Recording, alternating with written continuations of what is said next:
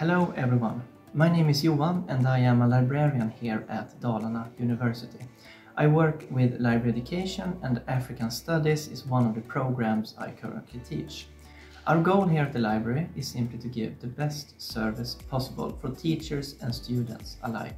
We want to help you achieve your academic goals and through them grow as a person. To do this, we offer a wide range of media, from physical and digital books to different kinds of databases.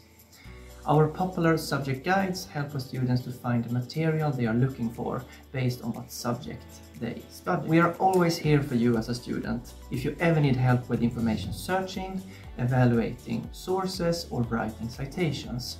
You can either book us for private guidance, participate in our drop-in support online or simply come by, by the information desk here in the library for some general assistance.